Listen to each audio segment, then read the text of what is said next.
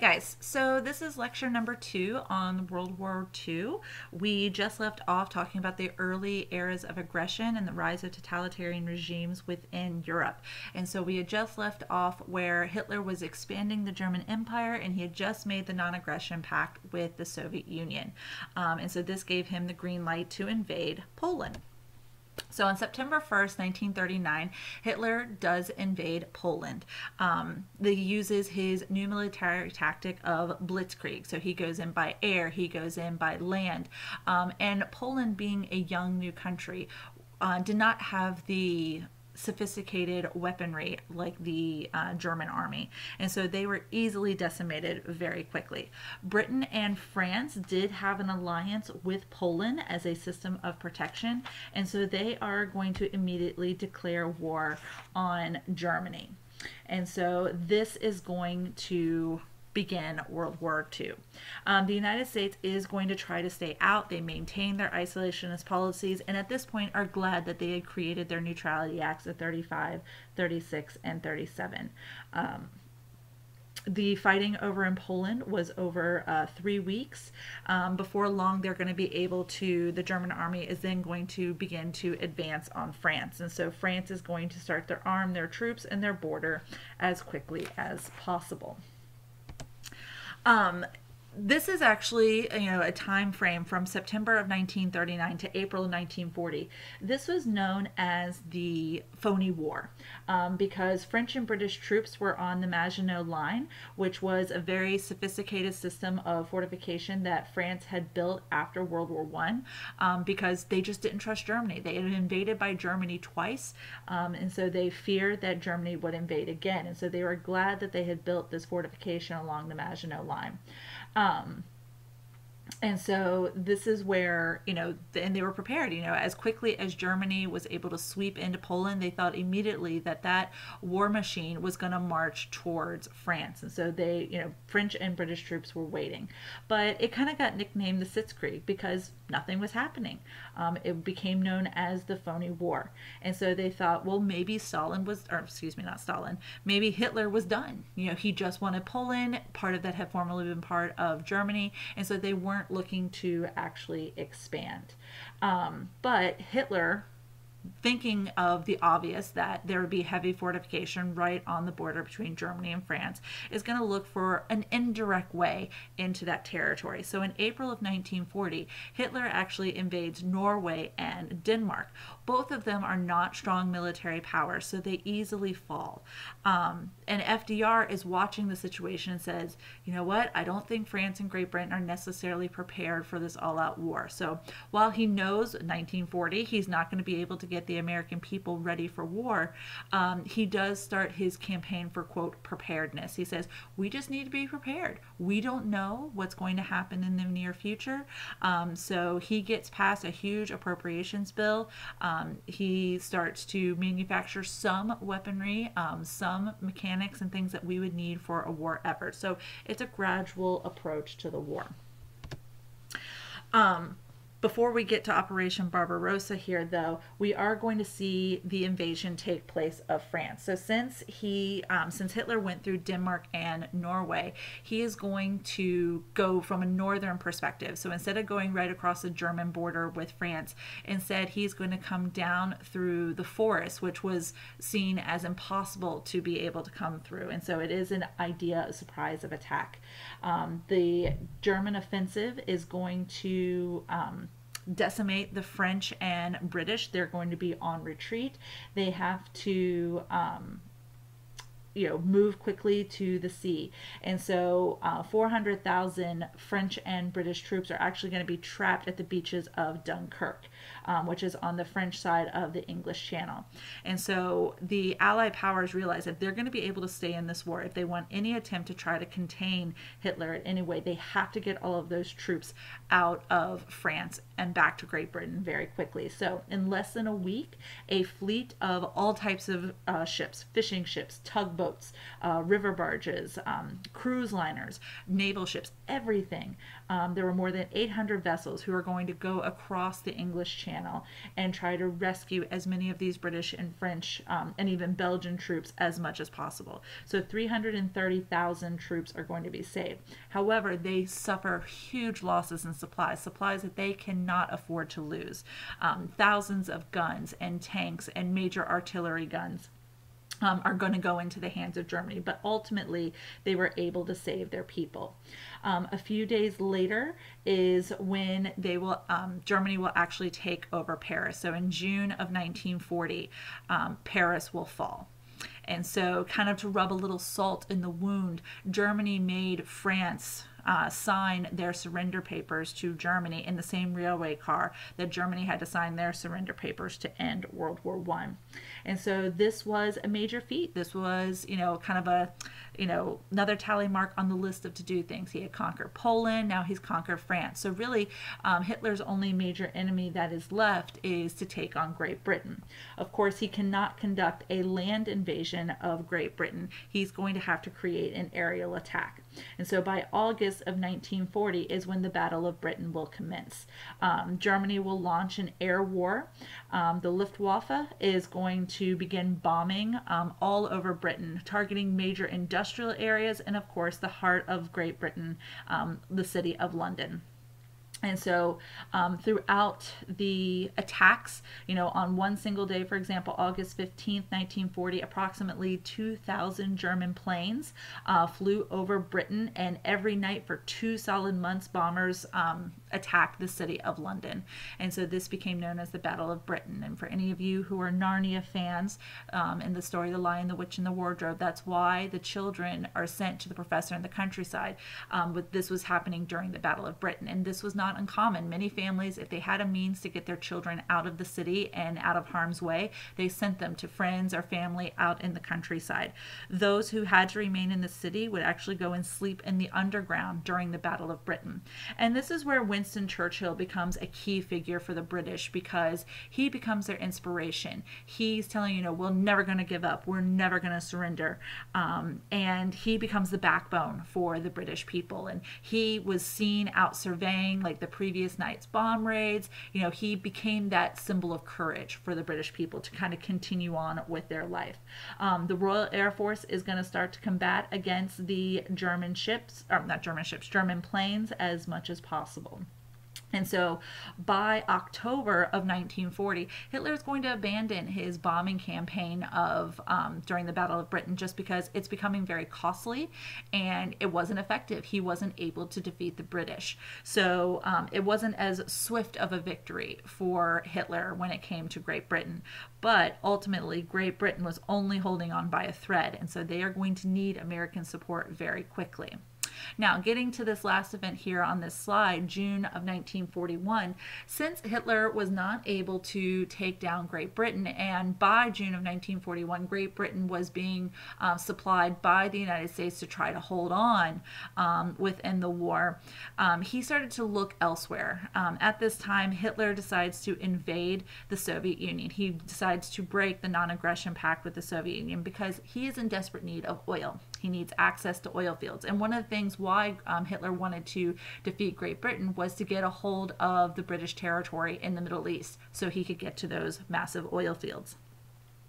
So, um, in Operation Barbarossa, Hitler uses his blitzkrieg to invade the Soviet Union. Um, and even though his plans for a quick victory, the battle is going to last until 1943.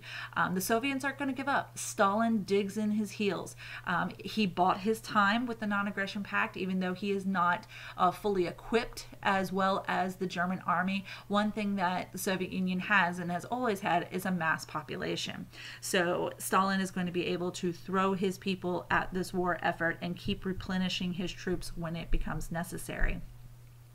Um, Stalin also issues the scorch the earth policy. And so, even though the Soviets are in retreat early on in the invasion in June of 1941, Stalin you know, gives the orders to the Soviet people, even though it's going to hurt even the civilian population, to burn everything. You know, if the Germans are going to take land, they're going to take scorched land. They're not going to get food, they're not going to get infrastructure, they're going to get nothing from the Soviet Union. So, the Soviets can't have it, neither can the Germans, um, which means even the civilian population is going to have to go without within the Soviet Union. And so, looking at the map here of Europe in 1940, you can see uh, Germany kind of center stage there. They've taken over the northern part of France, um, the unoccupied zone um, that is going to be near Switzerland. Of course, Switzerland's going to remain neutral. Italy is, of course, on the side of Great Britain. They're looking to expand, and Germany has also expanded out into um, Romania, Hungary, Slovakia on his way to invade the Soviet Union on the most western borders there of the Soviet territory. So by August of 1941, FDR realizes that the United States is going to be brought into this war. Um, and he has actually, prior to this, started to give resources to. Um, Great Britain through the Lend Lease program, which we'll take a look at here in a moment. Um, excuse me, the Lend Lease policy um, broke the Neutrality Acts. You know, um, FDR kind of quoted and explained to Congress, he's like, you know, if your neighbor's house is on fire, you're going to lend them your garden hose. You're going to help them out. And he's saying, look, Great Britain's house is on fire. You know, they're hanging on by a thread. France has fallen. Hitler's military regime has now invaded the Soviet Union. We've got to do something. We have to act. Otherwise, this war, if Great Britain falls, this war is coming across the Atlantic and it's going to come for the United States. So he says, you know, it's better prepared and help our neighbor try to fight off this enemy. And so the Lend Lease Act allows um, the United States to lend war materials, so old naval warships and ammunition, to Great Britain. Now, they're not getting it for free. Um, we do get some military bases in the Caribbean, and ultimately it allows them to. Um, pay over time for these resources, but we also ship them. We start to put our own ships at risk uh, to get them to Great Britain because, of course, Great Britain could not afford to send their ships all the way to the United States to pick items up. So we were starting to tiptoe into this war. And a further tiptoe into the war was the Atlantic Charter. Um, it was in August of 1941 where FDR and Churchill actually meet in the middle of the Atlantic Ocean. And they start a plan for the end of the war, which is going to involve the United States, which the United States is going to be involved in the end of the war. FDR realized, well, we're going to be part of this conflict. And so it the Atlantic Charter really does replicate aspects of Woodrow Wilson's 14 points. They're trying to learn from their mistakes from the Treaty of Versailles. They don't want to repeat where they punish Germany and essentially start World War III. Um, so the self determination, the forgiveness, the freedom of the seas, it very much replicates Woodrow Wilson's 14 points. It is a secret agreement between FDR and Churchill. They do not make this public. But it's interesting to show that it is Churchill and FDR meeting and that Joseph Stalin isn't there. You know, by this point, um, Soviet Union has been invaded. They're part of the Allied powers. They're partnered with Great Britain. Um, but it goes to show that they were only bonded over their common enemy of Hitler. Otherwise, Churchill did not trust Stalin and did not want Soviet influence or in the peace process after this war. So this is, of course, planting the seeds for the beginnings of the Cold War. December 7th, 1941, 7:57 a.m. on a Sunday morning. It is going to be a day which will live in infamy most Americans had their eyes on the Atlantic. They're watching Europe. They're not paying attention to what's happening in the Pacific. Um, and so ultimately, uh, the 180 Japanese warplanes fly into Pearl Harbor. Um, this they call it you know it's an air raid on pearl harbor this is not a drill many of the naval officers and um, uh, sailors that were in Pearl Harbor, they were just waking up. It was like a sleepy early Sunday morning. You know, they're just kind of getting started with their day and they're abruptly waken with Japanese planes dropping bombs on that um, naval base. The reason why Pearl Harbor was the target was that was the largest naval base we had in the Pacific. So um, Japan was hoping to create a major dent in our ability to defend ourselves in the Pacific. Um, they were hoping to hit our aircraft carriers, which were luckily out at sea at the time, but they are going to inflict a great amount of damage. Um, by 9:30 a.m., their last plane had flew over. Um, so, you know, it was a very quick, abrupt attack. It was a surprise attack. So we were scrambling. They hit our airfields in Hawaii. So as our um, Air Force was trying to get up in the air to combat against these Japanese planes, they had already taken out a massive amount. They sunk four major ships, they badly damaged 14 others, and you know, these are hard to replace. It's not something that you can just build in a couple of days. 350 planes were destroyed or badly damaged, so you know, our ability to defend ourselves in the Pacific is going to be extremely difficult. And while they were attacking Pearl Harbor, what's often forgotten is Japan was also attacking our other military bases. I mean, Pearl Harbor suffered the most damage, but Wake Island, Midway Island, the Philippines, all of them were under attack on this December 7th plan. 2,400 people died um, and almost 1,200 were wounded.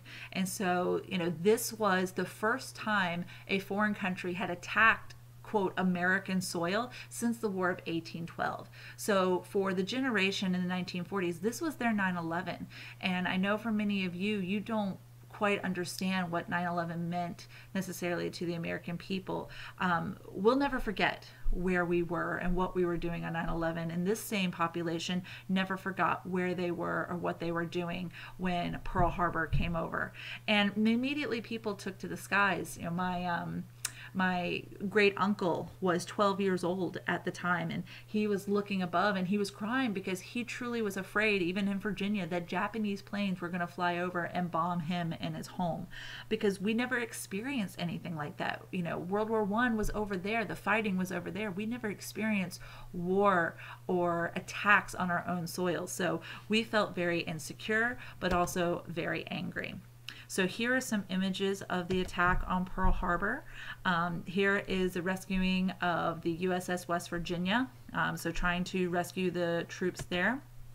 So the fall of other uh, bases. This is, if you ever get to go to Hawaii, this is the memorial for the Pearl Harbor attack. And this is an aerial view because below there is the USS Arizona, which was a ship that sunk with the vast majority of the sailors on board. So, immediately the next day after the bombing of Pearl Harbor, um, FDR delivers his declaration of war speech in Congress, where he gave the, gave the famous line, This will be a date that lives in infamy.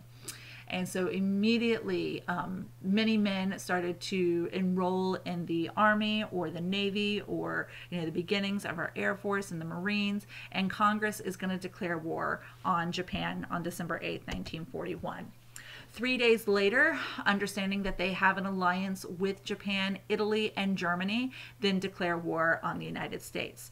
And so our isolationist policies are not going to keep us out of this war. And so, you know, looking at this quote here, it says, There is a mysterious cycle in human events. To some generations, much is given, of others, much is expected. This generation of Americans has a rendezvous with destiny. And so you know, this is going to, again, kind of solidify our position in the global arena. Um, FDR says we cannot be isolationists anymore. We, our guard was down.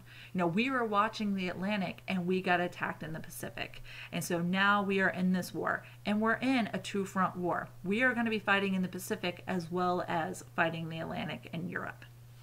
And so the next lecture, we'll start to take a look at what's going to be the plan of strategy and life on the home front.